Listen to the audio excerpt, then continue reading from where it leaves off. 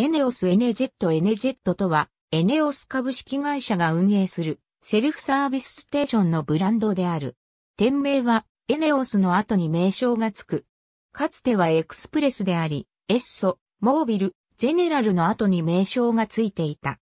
ゼネラルエクスプレス南相馬鹿島 SS、エッソエクスプレス東生駒 SS エネジェットセルフ、天神川エコステーション SS エクスプレス時代のシナジー表記と同様のもの1998年の消防法改正によるセルフサービスガソリンスタンドの解禁に合わせ、当年ゼネラル石油がエクスプレスブランドとして2001年に出店を開始。当時はエッソ、モービル、ゼネラルのサブブランドとして展開されていた。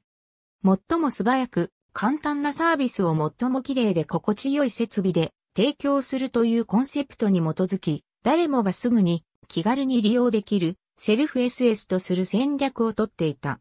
ドトールコーヒーショップやセブンイレブン、オイル交換などを行う、モービルワンセンターを併設している店舗もある。2005年末時点では全国に約550店舗を展開していた。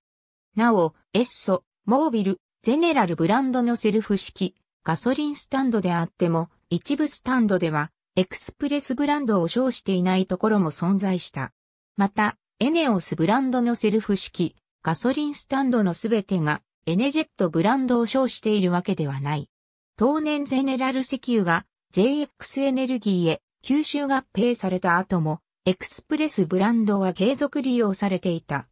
しかし、エッソ、モービル、ゼネラルはエネオスに順次統一されることになり、エクスプレスブランドのスタンドもコンセプトを引き継いだエネオスのサブブランドエネジェットに順次転換された。